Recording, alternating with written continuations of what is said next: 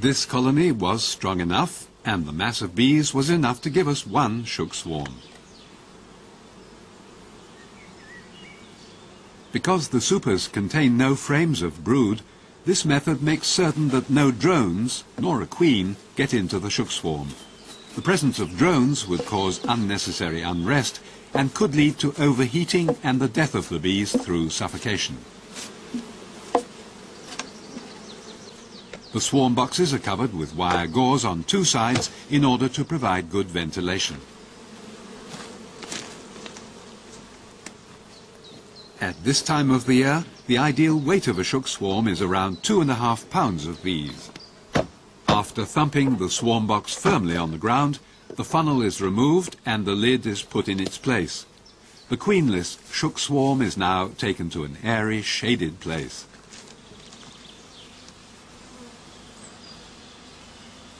Every colony is treated in this way. All shook swarms remain in the shade until they are ready to be taken away. The supers are now strapped together and are loaded onto a trailer.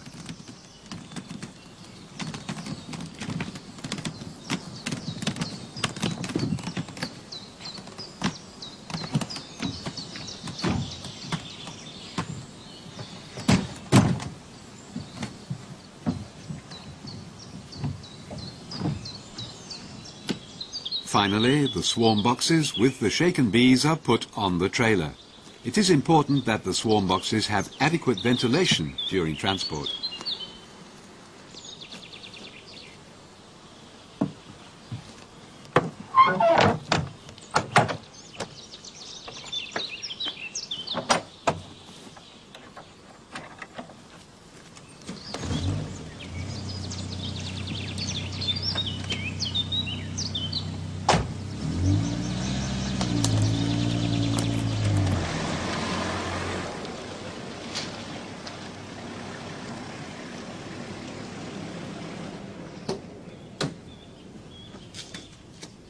Having reached the extracting shed, the shook swarms are unloaded first and are set down outside for their varroa treatment.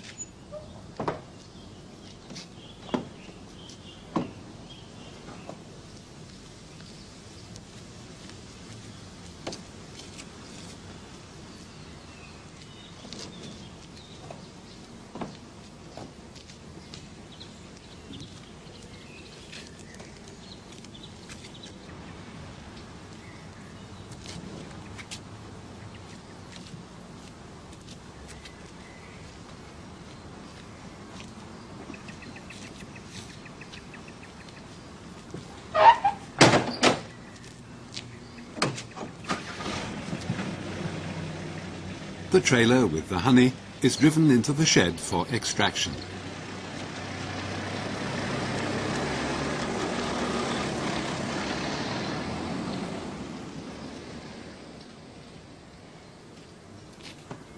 Several chemicals have been officially approved for the control of varroa mites. Here we administer a systemically acting remedy. After all shook swarms have been treated, we turn our attention to the catching of the mated queens.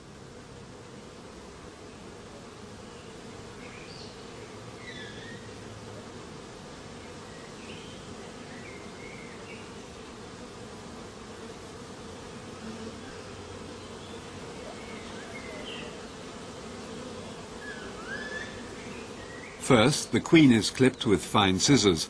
One third of one forewing is removed to prevent her from flying. She is then put into an introducing cage and this is closed firmly.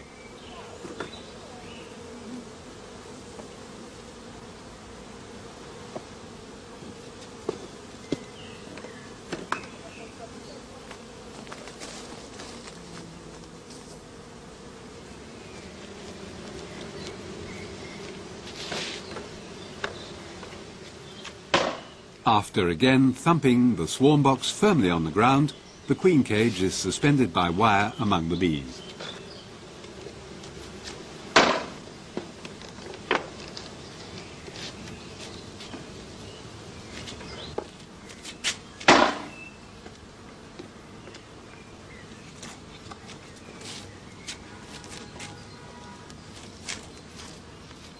For the next 24 hours, the swarm boxes are taken to a cool room where they are put down on sheets of white paper for a simple assessment of the extent of Varroa infestation.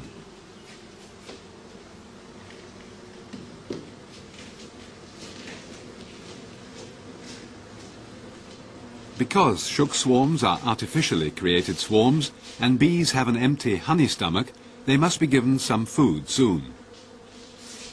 Here they are fed with Good's candy, made from honey and icing sugar, and the room is darkened. Once the shook swarms have been dealt with, we return to the out-apiary and attend to the control of swarming in the parent stocks and the putting on of supers.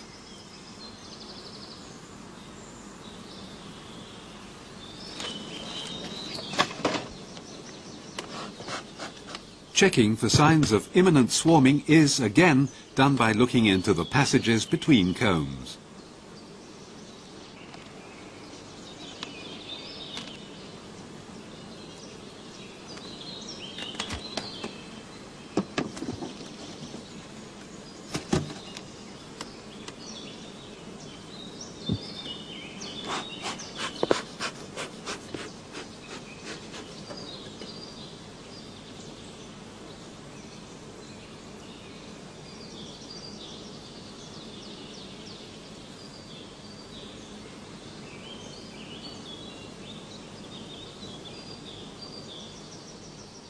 Although a lot of bees of the adult population had been removed, colony strength is still sufficient to take advantage of any expected flows of nectar.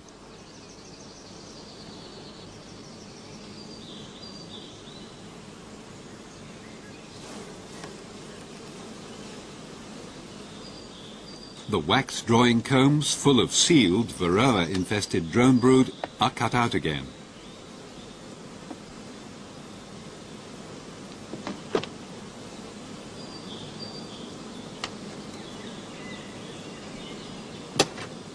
All other colonies are treated in the same way.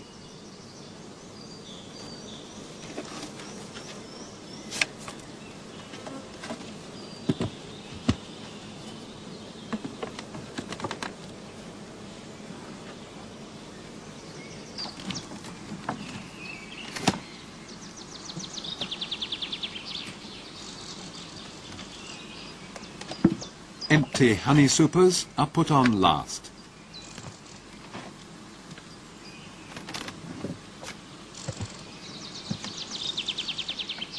At this time of the year, the supers are filled with drawn comb because bees tend to fill drawn cells more readily.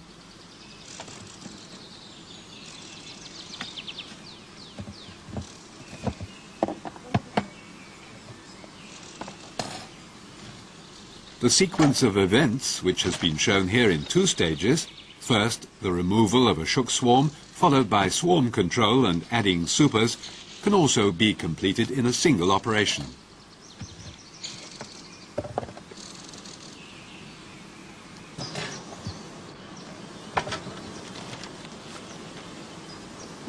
After adding supers, the old colonies are ready again for the next crop.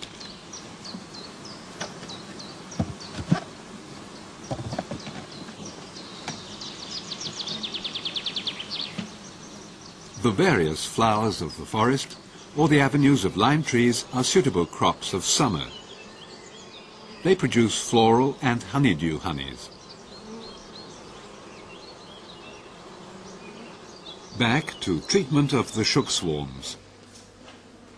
After a one-day period of confinement, we remove the remnants of the candy from the shook swarms. On the paper underlays, we will find some debris and dead varroa and can evaluate the mite infestation of the shook swarms.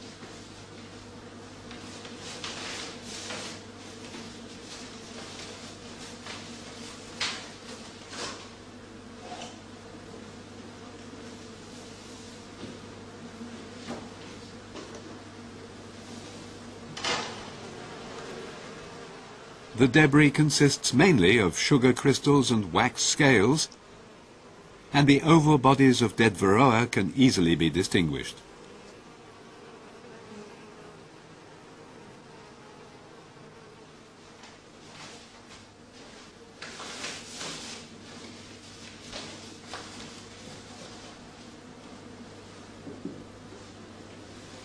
During the period of confinement, the bees have fused into a small colony and their contented, quiet clustering shows this clearly. The shook swarms will be given new brood boxes.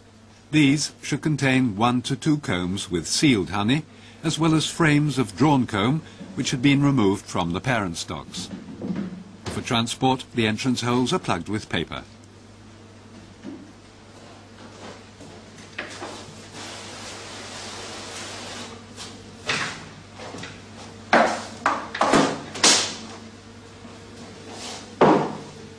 Before hiving the shook swarms, the bees in the swarm boxes are sprayed with water. This prevents their flight.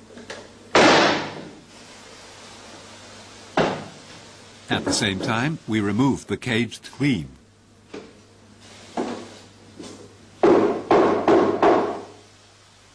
Now we dump the bees into the open space of the deep floorboard in which the front entrance has been closed with wire gauze. An inner floorboard is put on. This is followed by the prepared brood box. The queen cage is suspended between two frames and the plastic foil and the roof are put on last of all.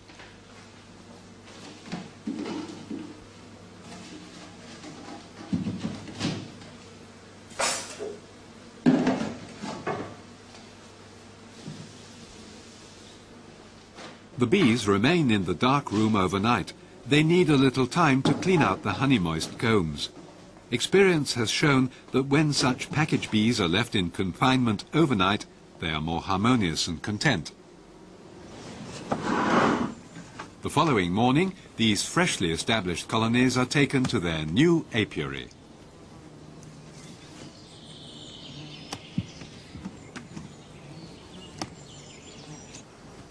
This should have been chosen to assure an ample supply of nectar and pollen for all.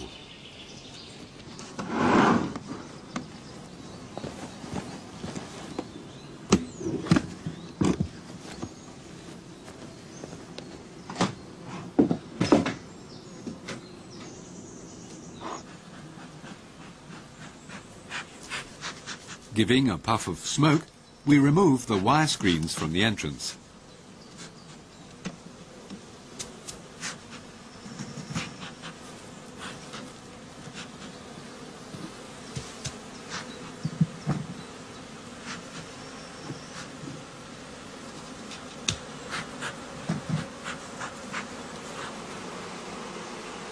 Only the small upper entrance above the deep floor is opened.